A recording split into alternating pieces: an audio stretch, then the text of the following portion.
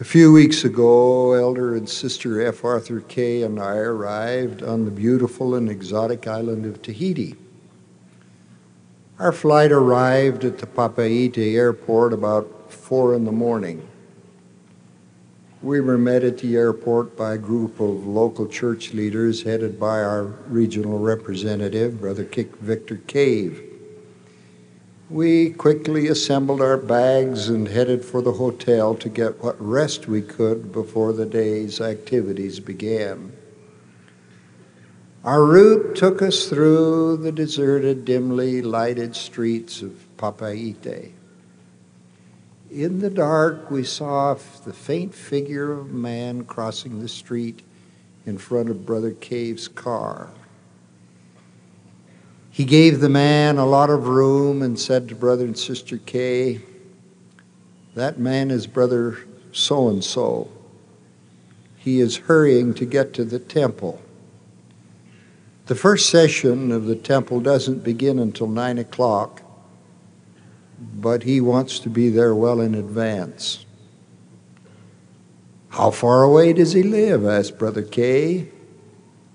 The answer two or three blocks. Brother Cave indicated that the caretakers open the temple gates early.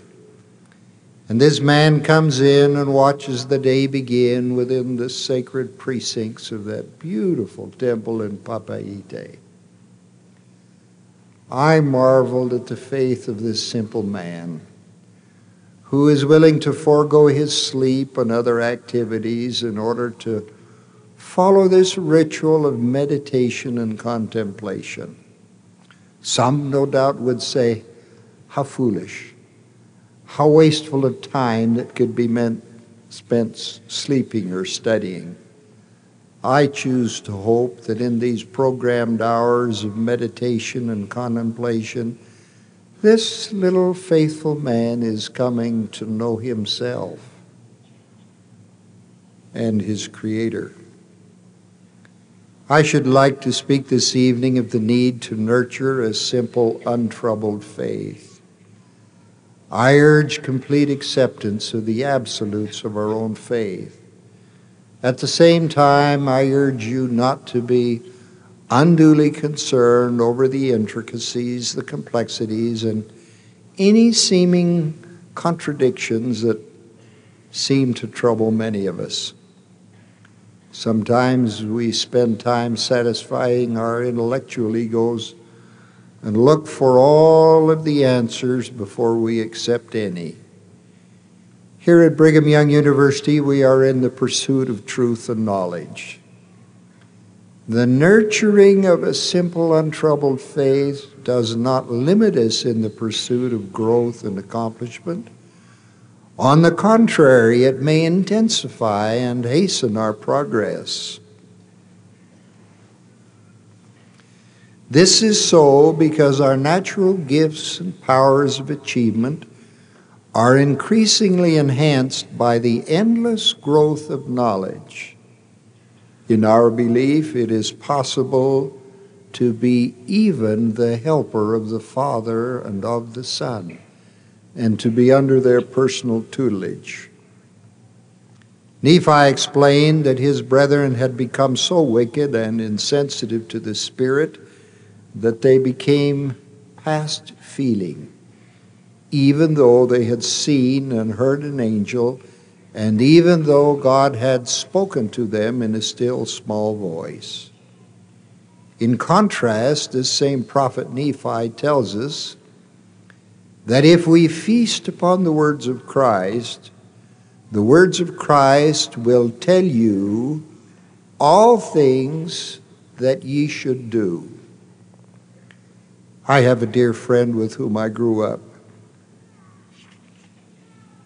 He came from a large family. And although bright and able, he was not a scholarly type. The press of family needs and concerns limited his educational opportunities.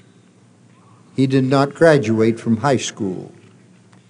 He acquired an old beat up truck and began hauling sand and gravel for a few of the contractors. The work was seasonal and not all that productive. The old truck would frequently break down and need repairs. In his teenage years, he drifted some, but married a good woman and settled down. Their circumstances were economically straitened but somehow he managed to build a house on part of the family property. I was bishop and called him to be the Aaronic priesthood advisor. He took his calling seriously. He literally wore out the handbook studying it. He had a notebook filled with the dates when all of the young men in the ward would reach the age to be advanced in the Aaronic priesthood. He kept good track of the young men and kept the bishopric informed of their activities. Some years after I was released, he became a member of our bishopric. He needed a little nudging to become a full tithe payer, but responded faithfully as he had done before. Subsequently, he became our bishop. He served wonderfully and well. In the meantime, he and an associate learned how to lay bricks and formed a brick contracting partnership. The difference between their work and the work of others was in the quality. They did beautiful work. They were in demand. He prospered and became very respected in the community. He became the president of the local water company. After many successful years as a bishop, he was called to the High Council and served well and faithfully. He is now a man of affairs, respected and honored, although his formal education ended before high school graduation. With the advantage of a college education, he no doubt would have achieved even more. What caused him to succeed? Industry? Thrift? Self reliance? Yes. But there was more. Conscientiously and untiringly, he sought to know and do the mind and the will of the Lord. He had a simple, untroubled faith. Our religion fosters the opportunity to come back into the presence of the Father and the Son, and it contemplates a future perfection of the human spirit and soul. This is a preferential condition in the hereafter. Why then should we be preoccupied unnecessarily with too many mysteries? In fact, the worldwide mission of the church can be simply stated it is to perfect the saints, to proclaim the gospel, and to redeem the dead. President Stephen L. Richards explained it this way, and I quote The immortal soul, which is the union of the body and the spirit, becomes invested with the divine nature of our eternal Father and Jesus Christ. Close quote. That investiture of the divine nature intensifies and magnifies our gifts and abilities. There is no greater teacher, there is no greater strength than the divine nature of the eternal Father and Jesus Christ. By this time next week, another general conference will have come and gone. Many may wonder what the brethren are saying. Many will not want to know. Others may not care. Before I had a seat in General Conference, I tried to listen, either by television or radio, to the conference proceedings. One Saturday on the opening of General Conference, my youngest son and I went out to hunt ducks on the opening day of uh, duck season. Of course, we listened to the car radio on the way and took a portable radio to listen in the duck blind.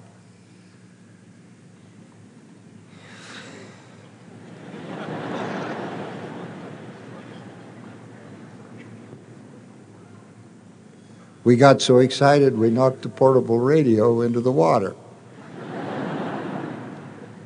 the season shooting began at 12 o'clock noon, so we were able to hear the morning's proceedings. My son had an assignment in seminary to review the conference messages. We listened faithfully to all of the messages on Saturday morning. The shooting was over by one o'clock, and we listened to the afternoon proceedings. As we were picking up our decoys and heading back to the car, my son thoughtfully said, What are, what are the brethren saying, Dad? He was trying to understand the grand, overarching, and undergirding messages. What will the brethren be saying next week? The living prophets will be opening the visions of eternity and be giving counsel on how to overcome the world. We cannot know if we do not listen. We cannot receive the blessings if we do not follow the counsel given. As a young stake president, I had most of the general authorities as stake conference visitors to our stake. I can tell you that that was a great experience. President Hugh B. Brown came to one of our stake conferences just a week before he was called and sustained as a member of the Council of the Twelve. We enjoyed his warm spirit and his good humor. As I helped him with his coat and he walked out to his car to leave us, I said, Brother Brown, do you have any personal advice for me? His answer was, Yes, stick with the brethren. He did not choose to elaborate or explain, but left that indelible message Have the simple faith to follow the brethren. My grandmother, Maud Wetzel Faust, used to tell us little boys about going to General Conference when President Brigham Young presided. She also told us about the first train that came to Salt Lake City. Except for the prophet Joseph Smith, she had known all of the presidents of the church up to Heber J. Grant. From her observations over the years, she had this to say those who have turned their backs on the brethren have not prospered. Then she proceeded to tell a few examples. What caused her to impart this lesson to her grandsons, I do not know. But I would certainly wish all within the sound of my voice to have the simple faith to stick with the brethren. We acknowledge that all church leaders, past and present, except the Christ Himself, were and are human. The critics of the church are wont to discredit this marvelous work because of the human weaknesses of its leaders. President Gordon B. Hinckley said at your sister campus in Hawaii a few years ago, quote, to highlight the mistakes and gloss over the greater good is to draw a caricature. Caricatures are amusing, but they are often ugly and dishonest. A man may have a wart on his cheek and still have a face of beauty and strength. But if the wart is emphasized unduly in relation to his other features, the portrait is lacking in integrity. President Hinckley continued, speaking of the early leaders of the church, quote, if some of them stumbled or if their characters may have been slightly flawed in one way or another, the wonder is the greater that they accomplished so much. Close quote. The same is true today. In an urgent plea for the saints to concern themselves with the common things, President Wilford Woodruff had this counsel quote, How much longer I shall talk to this people, I do not know. But I want to say this to all Israel Cease troubling yourselves about who God is, who Adam is, who Christ is, who Jehovah is. For heaven's sake, let these things alone. Why trouble yourselves about these things? God has revealed himself, and when the 121st section of the Doctrine and Covenants is fulfilled, Whether there be one God or many gods, they will be revealed to the children of men, as well as thrones, dominions, and principalities and powers. Then why trouble yourselves about these things? God is God. Christ is Christ. The Holy Ghost is the Holy Ghost. That should be enough for you and me to know. If we want to know any more, wait till we get where God is in person. I say this because we are a little troubled every little while with inquiries from the elders, anxious to know who God is, who Christ is, who Adam is. Still quoting the president. I say to the elders, stop this. Humble yourselves before the Lord. Seek for light, for truth, and for a knowledge of the common things of the kingdom of God. Close quote. To have a simple, untroubled faith, you must keep your spiritual innocence. That requires avoiding criticism and cynicism. This is the day of the cynic, the critics, and the pickle suckers. Said President Hinckley, criticism is the forerunner of divorce, the cultivator of rebellion, sometimes a catalyst that leads to failure. In the church, it sows the seeds of inactivity and finally apostasy. Close quote. For some years now, I have appreciated sharing a common reception room at the church administration building with David M. Kennedy. I appreciate my personal relationship with him. After having been called to the Council of Twelve Apostles, I was walking out of the tabernacle with Elder Kennedy. I said to him, David, there must be 10,000 men in this church more qualified, more able to serve in the Council of the Twelve than I am. Brother Kennedy said, No, 15,000.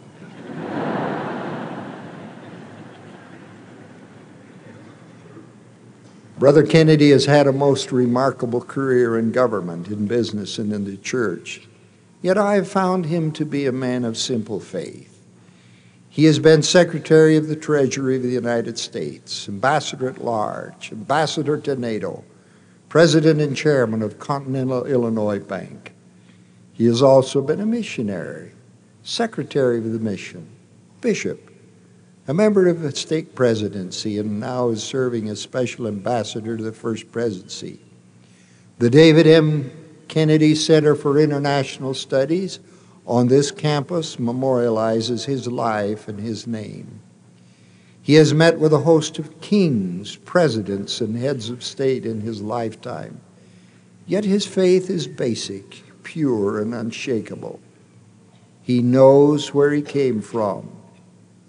He knows who he is. He knows where he is going and what is most important in his life. He received this orientation from his father. When young David asked his father, What are we supposed to be doing here on earth? His father replied, We are supposed to be serving God and our fellow men. To have a simple, untroubled faith, we must accept some absolutes. They are basic. They are to believe, first, that Jesus, the Son of the Father, is the Christ and Savior and Redeemer of the world. Second, that Joseph Smith was the instrument through which the gospel was restored in its fullness and completeness. Third, that the Book of Mormon is the Word of God, and, as the prophet Joseph Smith said, it is the keystone of our religion.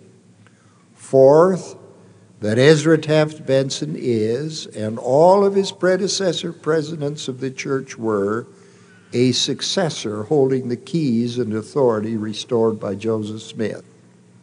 You may ask, how can I acquire an untroubled faith and a spiritual assurance that each of these absolutes is true? This untroubled faith can come by prayer, study, and a submissive willingness to keep as many commandments as we can. Now let us be more specific. As to the first absolute, the acceptance of Jesus as the Christ, we have 2,000 years of teaching and tradition which help the inquirer accept him as their Savior and Redeemer. So, this absolute, initially at least, may be the easiest to accept after study, prayer, and trying to follow his teachings. The second absolute, the calling of Joseph Smith as the restoration prophet, may be more difficult for the honest seeker to accept. To have a fair appreciation for the greatness of Joseph Smith's mission, we must step back and view the grand panorama of it all to me, the only logical explanation for the majesty and success of his work is that he saw what he said he saw, and he was what he said he was. What he restored is so complete, so all encompassing in concept, so majestic and awesome in potential that only God Himself could have been the author and motivating force behind it. The fruits of Joseph Smith's work, so plain for all to see, are also a testimony of the divinity of his work. The third absolute, namely a testimony of the truthfulness of the Book of Mormon, in my opinion, comes exactly as Moroni stated by the power of the Holy Ghost by asking God, the Eternal Father, in the name of Christ, if it is true. Then comes the promise. If ye shall ask with a sincere heart, with real intent, having faith in Christ, he will manifest the truth of it unto you by the power of the Holy Ghost. The fourth absolute is essential to enjoy an untroubled faith. It is the proposition that President Ezra Taft Benson is the inheritor of the restored keys, as was each of his predecessors since Joseph Smith. Some accept the Savior, the divine mission of Joseph Smith in the Book of Mormon, but then think that after Joseph's time, somehow the brethren went astray. Many who have thought this have taken others with them, but their efforts have not prospered. There is a powerful precedent which comes down through the ages to sustain the succession of authority. After the crucifixion of the Savior, Peter, as the senior apostle, became the president of the church. Since the restoration by Joseph Smith, this practice has been followed in the succession to the presidency of the church. As each of the apostles have been ordained to the apostleship and the quorum of the twelve, he has been given all of the keys of the kingdom of God on the earth, some of which are held to be held inactive until the death of the president of the church. Upon the death of the president of the church, the keys rest with the quorum of the twelve as a body. When the new president is ordained and set apart, the council of the twelve unitedly lay their hands upon his head and activate all of the keys he has held since he came to the quorum of the twelve. It has been so since Peter and James and John bestowed the keys upon the prophet Joseph Smith. It was so with President Ezra Taft Benson. Because of this transferring of keys and authority, we can truthfully say, since there is ultimate priesthood authority on the earth today, then President Benson has it. The acceptance of these four absolutes, together with the ordinances that is ministered by the church, and obedience thereto, is a solid foundation for the enjoyment of the promise of the Savior, that is, peace in this life and eternal life in the life hereafter. Third from last like that little man crossing the street in Papeete at four o'clock in the morning, hurrying to the temple, we can enjoy an untroubled conscience in the temples of God. Next to last, I wish to bear testimony that having a simple, untroubled faith will lift us above the selfish, sordid, and greedy aspects of the world. Lastly, I bear witness as one of the special witnesses that the Father and the Son did appear to the boy Joseph Smith, and that he has given direction to reestablish the church upon the earth in its fullness. I also testify of the divine and truthful message of the Book of Mormon. I believe that President Ezra Taft Benson holds all of the keys and authority to administer the affairs of the kingdom of God on the earth. And I so testify in the name of Jesus Christ. Amen.